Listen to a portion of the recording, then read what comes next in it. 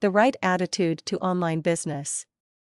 Setting up an online business is easy. You do not need a huge amount of investment or capital to start off.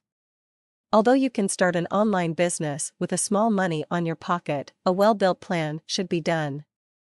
To avoid making mistakes in your online business, I have some important reminders below. You have all the resources in putting up an online business, but if you lack focus in properly handling your business, then probably your business will not work out the way you want it to be.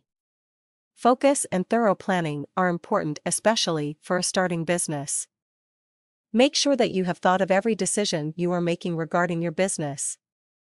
Study the advantages and disadvantages before making a decision. Check every method before actually doing it.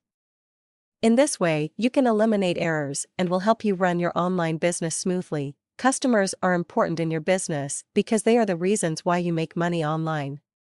Choosing the right customers is essential for the success of your business. You must determine your market niche as to which group of people does your product belongs.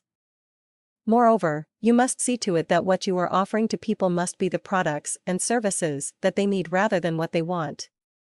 Most people will buy what they really need so, if they see that you have the products and services they need surely they will come to you. Marketing is important for a business. It is through marketing that a certain product or service is known. One way to reach out people is through marketing the products online. Choosing the right media to do so is sometimes what online businesses fail to do.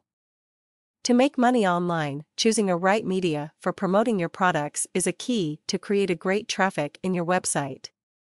Understand and know the right media before actually using it. Online business is just an easy way to make money if you have the right knowledge of every piece about it.